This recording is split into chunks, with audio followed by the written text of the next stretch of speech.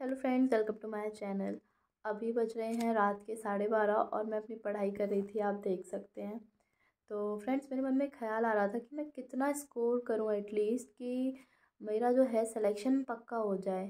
तो मैंने कुछ प्रीवियस ईयर्स कट ऑफ़ सिखा के देखी और कुछ एनालिसिस भी किए, लेकिन उसका कुछ खास असर निकला नहीं, क्योंकि एक तो पैटर्न चेंज हो चुका है सिलेबस भी चेंज हो चुका है और जो इंटरव्यू का पैटर्न था वो भी चेंज हो चुका है।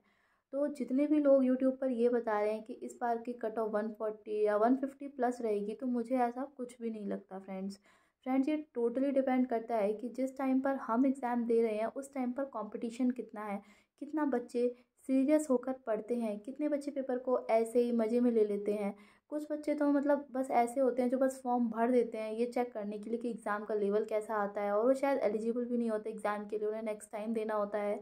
तो बस ये लोग क्या करते हैं कि जितने भी एप्लीकेशंस आते हैं, उनमें सिर्फ़ अपने नंबर बढ़ाते हैं और जो सीरियस तरीके से तैयारी कर रहे होते हैं, उनको घबराहट होने लगती है कि इतने ज़्यादा बच्चों ने फॉर्म भरा है तो हमारा सिलेक्शन होगा कि नहीं होगा।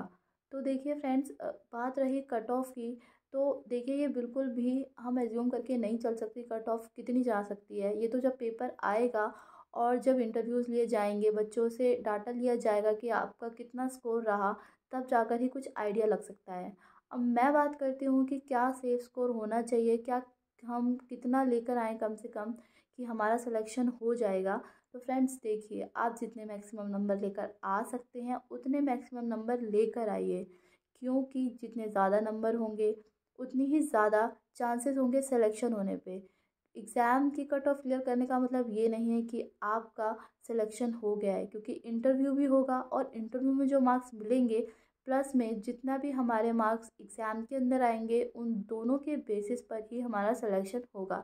मान लीजिए कि आपके मार्क्स उतने ही हैं जितने की कट ऑफ़ के लिए होने चाहिए और इंटरव्यू में कम है तो आपका सिलेक्शन नहीं हो पाएगा, चाहे आपने एग्ज़ाम क्लियर किया हो, चाहे ना किया हो।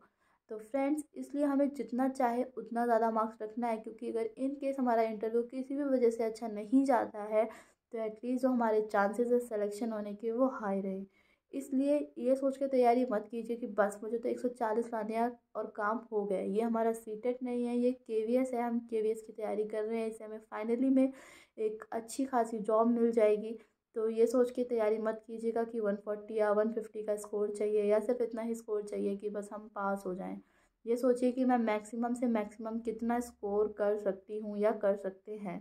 तो इस हिसाब से अपनी तैयारी रखिए। अभी फ्रेंड्स, मुझे बहुत तेज नींद आ रही है तो मैं सोने जा रही हूँ मुझे नहीं लगता कि आज सुबह मैं उठ पाऊँगी, इसलिए मैं आराम से ही उठूँगी। और ताकि, क्योंकि क्या होता है ना, कई बार मैं जल्दी उठ जाती हूँ ना पढ़ने के लिए, फिर दिन में मुझे बहुत ज़्यादा नींद आ रही होती है। और मेरा बेटा मुझे बिल्कुल भी नहीं सोने देता है। तो मैं अपनी नींद अच्छे से पूरी करूँगी, फिर कल उसे दिन में खेल में लगा कर फिर अपनी पढ़ाई कंटिन्यू करूँगी। सच में के की तैयारी करने में ना मतलब हालत ख़राब हो रखी है इस वक्त। साथ ही साथ ना मतलब बहुत ज़्यादा मतलब हेडक हो रखा है कि कैसे सिलेबस कंप्लीट और पता नहीं कि एग्ज़ाम कब हो जाए, अगर फेबररी में हो जाता है तो सच में मतलब समझ में नहीं आ रहा कि तैयारी कैसे होगी।